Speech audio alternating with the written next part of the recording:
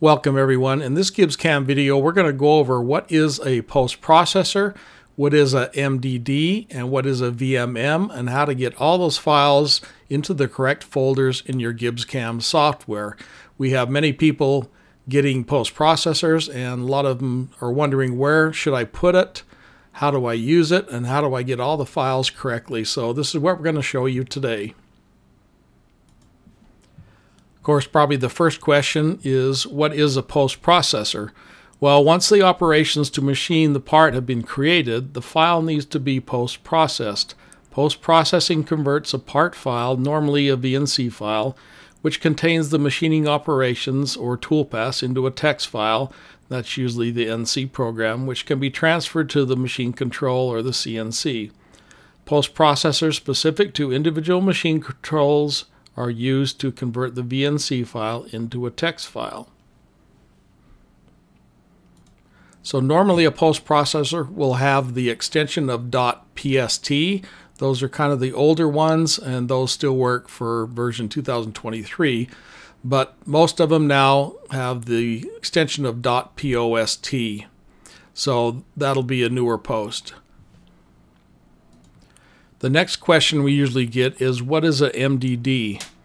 And what a MDD is, it stands for a Machine Definition Document, or MDD, which controls many things in the software, including the number of, position of, and display of spindles, the availability of turrets, the number of tool positions in a turret, drill cycles, and coolants available. Because MDDs for multitask machining parts are machine specific, and the programming of a part is also depending on a particular machine's capabilities, a copy of the MDD data is stored with the part file.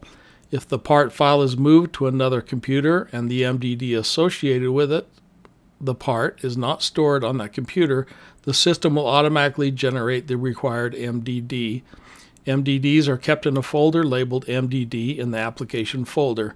And of course, we'll show you where all these are once we install all those. The next question we usually get asked is what is the VMM? Well, the VMM is Virtual Motion Macros, or VMM. The VMM is a file that provides a link between the MDD and the post processor to implement custom utility operations. A machine specific MDD references the mating VMM for MTM machines. MTM machines, of course, are multitask machines anything usually with a subspindle, multiple turrets, uh, and multiple spindles.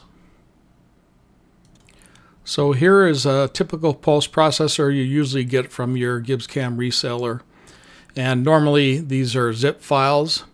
And the reason they're zip files is because they have a number of other folders inside there. So the first thing we want to do in order to get everything correct is I'm going to right click on the post processor, go to my extract all, and we'll put it in the same folder. Now you can of course put the, let me bring this over here. So normally you put the post processor somewhere on your PC where it won't get lost. You can create a folder called post processors or you can create a folder with all your machine names and include that post processor in that machine.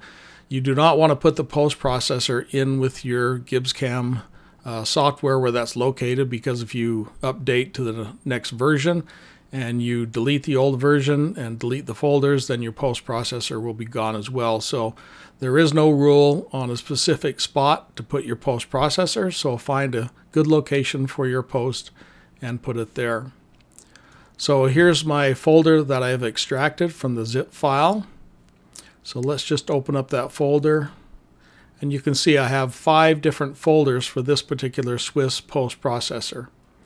So in order to get the post and all the MDD and the VMM and everything else in the correct spot, the easiest thing to do, let me close this, is you just open a blank screen in Gibbs, no part open, just a blank screen, and you take the zip file, not the not the ones with the folders, but the zip file and just drag it on top of the screen anywhere and let go.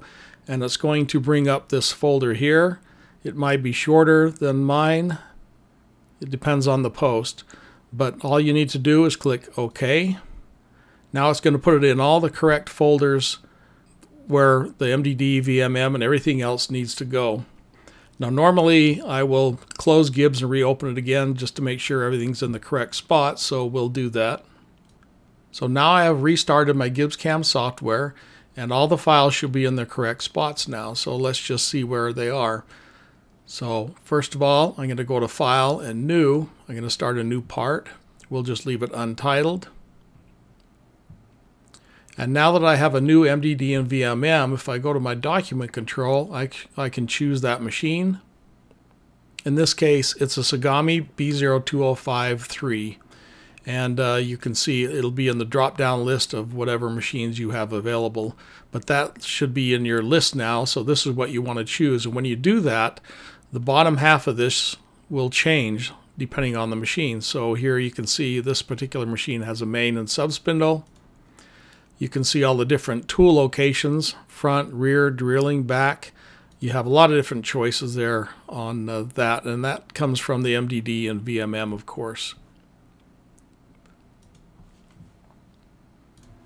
And so if I look at a few things, for instance, the tools, if we open up our toolbar and create a, for instance, a drill, you can see I can choose the two group, tool group 1, tool group 2, three, four, and five for turning, turning, back, turning, and of course you would tell which direction uh, it's pointing uh, when you refer to those, depending on how the MDD is, as you can see here.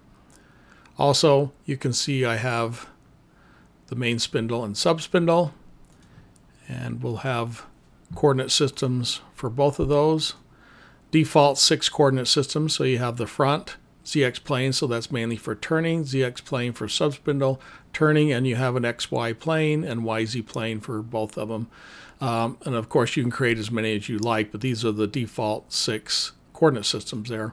So that's what the MDD, VMM, and the post will do. Now to know the, to find the locations of those, there's a couple ways to do it. So if you want to find the folder where the MDD and VMMs are, the easiest way is just to go to Plugins, and down to Pathfinder. This window will open up here, and let's expand that a little bit, which we can't here. Um, and there's VMM folder, MDD folder, that's just the standard one. But the one you want to look for is all users, MDD and VMM. So if we go to, go to the all users MDD folder and you click open folders, there's the folder where all the MDDs are in for my machine. And you can see the path right here. You can follow that if you want to go to Windows Explorer and look there. But that's where they are. So you can find them here. As you can see, here's my MDD in the correct folder.